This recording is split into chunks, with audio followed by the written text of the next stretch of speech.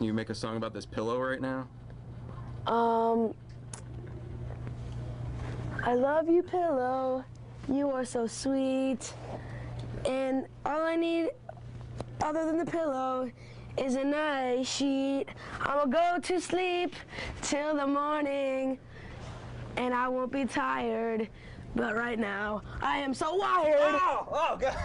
And we are at Wired 96.5. That was I my think you just, freestyle. I think you just hit me with a pillow. I did. Uh, I, I don't know about. I don't know what's going on here. I don't know if you heard that I'm a big wrestling fan, so maybe you? that's why you hit me with a pillow. But other than that, that was a great song. Is that going to be on the album? yeah, it actually is. Do, am It's I called Pillow Love.